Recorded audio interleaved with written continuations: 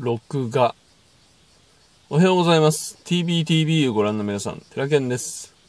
今回はですね、日本のスケートパークを制覇するその65、む、室戸広域公園スケートパークに来てます。えっ、と、高知県ですね、ここは。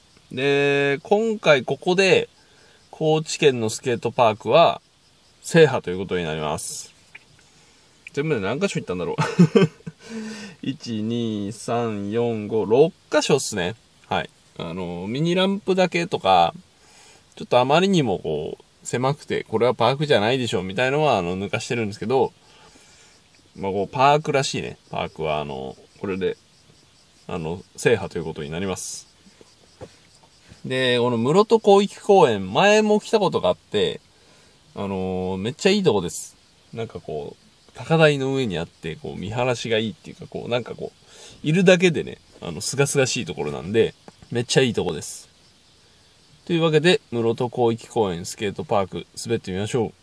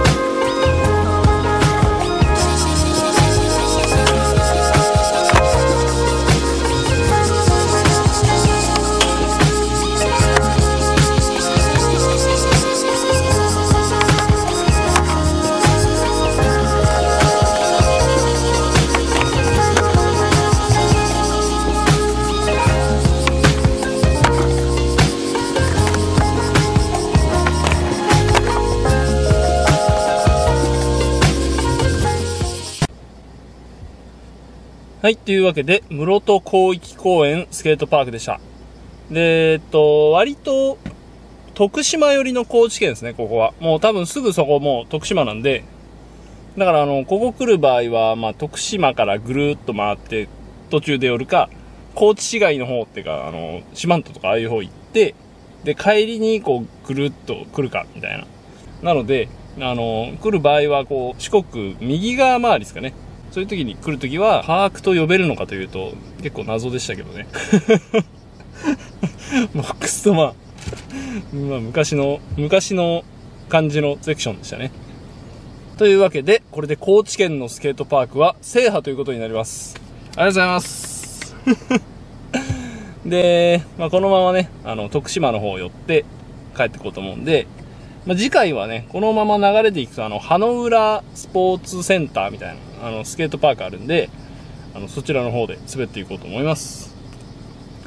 というわけで次回は葉の浦スポーツセンター？葉の浦スケートパークでいいか。葉の浦スケートパーク。お楽しみに。以上 TBTV でした。ご視聴ありがとうございました。